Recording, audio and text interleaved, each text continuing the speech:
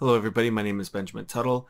I'm just going to show you how to fix this little bug. It happens when you bring a character into FBX using the HQ settings. This might be frustrating for some. I'll show you how to fix it. It's pretty simple. It's a bug. Um, I'll explain it soon. So we'll just go to the head for material. So you want to click on your uh, character, the purple, and then you want to go to the material here and click on that so this is where you're going to adjust your material settings. It has everything. It's pretty detailed and I recommend you to learn how to work with this um, and just experiment and play around with it.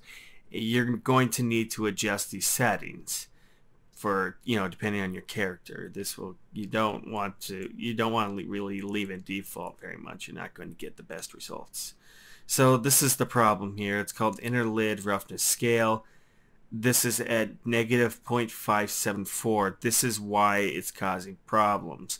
Um, I think what they wanted to do is originally put an extra decimal into it. So, but they didn't. So, just like that. And I'm just going to save it and it's fixed. But there's a little bit of a seam and I've had issues with this pretty simple. All I got to do is go and find the specular and I'm just going to actually just turn it to 0.3 and I'm going to save it. And then I'm going to go to my body and just kind of play around with the specular. So instead of 0.4, I just kind of do 0.2 and save. There we go.